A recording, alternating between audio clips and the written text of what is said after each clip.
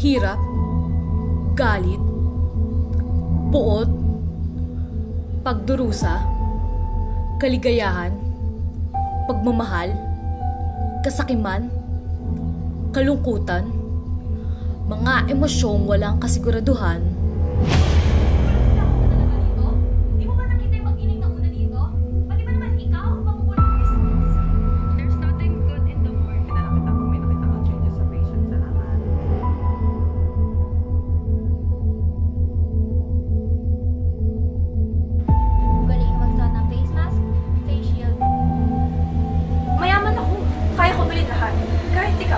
at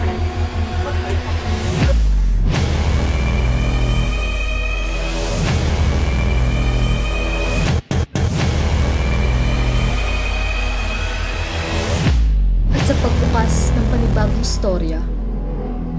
Hanggang kailan mo kayang tiisin ang himas at taplos ng buhay.